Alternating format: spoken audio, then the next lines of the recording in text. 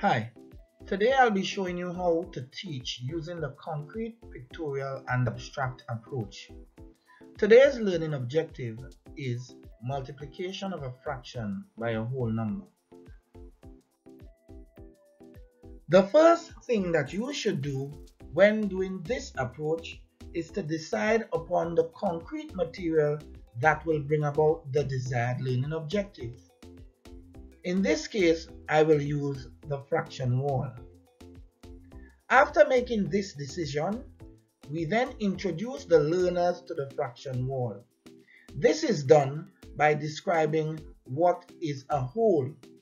The whole must be described in terms of its shape, its size, and its area. We then introduce other pieces of the whole namely the fraction a half. Then we describe what a half means in terms of the whole. And we can ask the students, how many pieces of halves do you think will make a whole? Because of their prior experience, they will say two. Two halves make a whole. The same thing is said for one third you will ask the question, how many thirds will make a whole? They should all say 3 thirds. Then you have them observe that the whole has the same length, breadth, and area. Then you will ask them to observe that 3 thirds occupies the same area as one whole. They have the same size, shape, and area. The same can be said and done for the other tiles. Note that even 1 eighth, 8 eighths will make a whole, and the whole is the same shape and area as the pink tile that is written one whole. Now that we have exposed the students to what a fraction wall is, and we have looked and seen the tiles that form the fraction wall, we can use these tiles in the fraction walls to evaluate multiplication problems. Take for example, if we had a third times 5. This means that I should take the one third tile and take 5 of these one third tiles and put them together like this. So when we have five tiles that are one third tiles, we will have a total of five thirds. We can change this five thirds into a mixed number by using the same fraction tile. When we align the pink tile to the 5 thirds, here is how it looks. We would recognize that 3 of the thirds is equal to 1. Now when we put the other thirds by the side like this, we will have an equivalence of 1 whole and 2 thirds. This means that 5 thirds is equivalent to 1 and 2 thirds. Similarly, if I were given 3 quarters times 3, this means that I need 3 set of tiles that are quarters to make 3 quarters, like this. Now, we need 3 set of these to represent 3 quarters times 3. When we put them side by side, they would look like this. And this would be a total of 9 quarters. So that we can see 3 quarters times 3 is 9 quarters. Again, we can change this into a mixed number by aligning it to the whole. If we were to align the whole to the 9 quarters, we will have this. Two wholes will be perfectly aligned in the nine quarters. But if you look carefully, there is a space that is missing. And that space is occupied by a quarter tile like this. So that we can see 9 quarters is equivalent to 2 wholes and a quarter. That is 2 and a quarter. At the pictorial stage, the teacher needs to decide on what form the picture will take. This would be dependent on the type of transition that is necessary. In other words, you need to form a relationship between the concrete stage and the pictorial stage. I will use a table in this case. Note that I'm using the same examples because we want to show the transition from the concrete stage to the pictorial stage.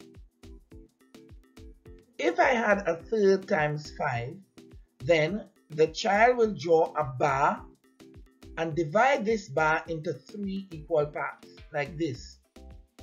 Please note that the child does not necessarily have to get the bar divided into three equal parts. This will get better in time as the child develops spatial awareness.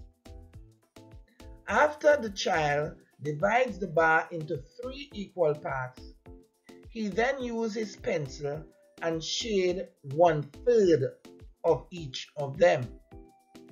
Here, there are three thirds in a bar. Having shaded three thirds, we then look for two more thirds. So the child will then draw another bar of the same width and divide it into three parts. However, the child will only shade two more parts since it's 5 thirds they want. So your answer will be 3 plus the 2 which is equal to 5 thirds. In your observation column, the child should observe that we had 5 thirds from multiplying 1 times 5. This can be prompted so that the child will be able to observe the pattern. Similarly, 3 quarters times 3 would be the drawing of one bar and dividing the bar into four equal parts. And after dividing it into four equal parts, you shade three of the four parts. Here is the four equal parts, and here are three parts that were shaded. This is equivalent to three quarters.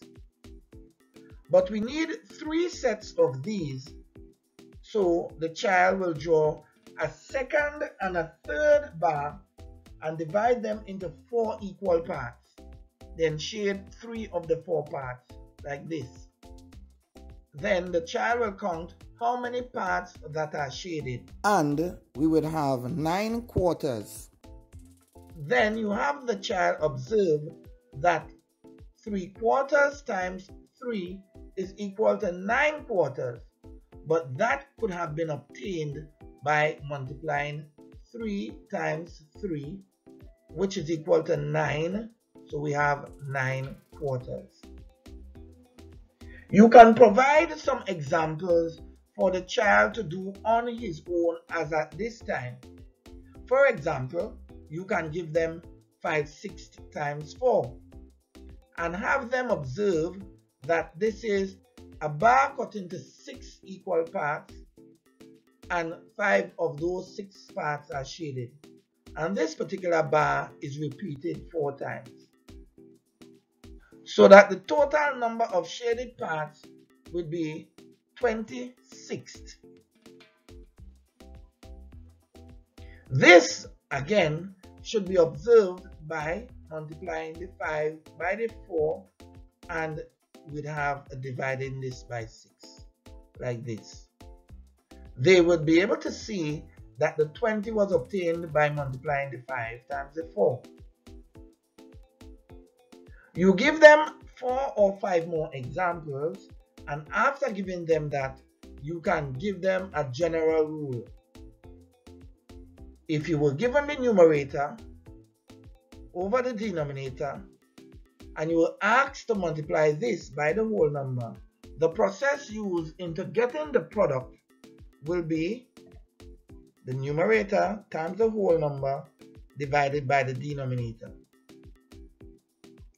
This process helps the child to develop the algorithm on his own. That is the algorithm of multiplying a fraction by a whole number. Having graduated from the pictorial stage, we are now at the abstract stage where complex problems can be solved. This is because we have already determined the algorithm used to multiply a fraction by a whole number in the pictorial stage. Here's an example. If we were given 7 16th times 21, it is difficult to use fraction tiles to do all of this simply because there may not be enough tiles. Again, using a pictorial method might be inefficient and quite cumbersome. And so the child, having known the algorithm, will multiply the 7 times the 21 and put that all over 16. So that 7 16th times 21 will give me 147 over 16. The child will then convert this to a mixed number because it was in his schema. This would be your answer 9 and 3 16. Remember that you must try to complete the CPA module in one lesson to allow the learner to discover related concepts on his own. If the teacher had insufficient time to move from all three stages or the students were taking a while on one stage, then and only then you allow for extra time to stay on one particular stage until the child gets the concept. The idea in using this CPA model is to have a deep rooted understanding of what the child is doing. Hence, the child knows what he is doing and why he is doing it. Here's the end of the video. Remember, don't forget to like, share, and subscribe.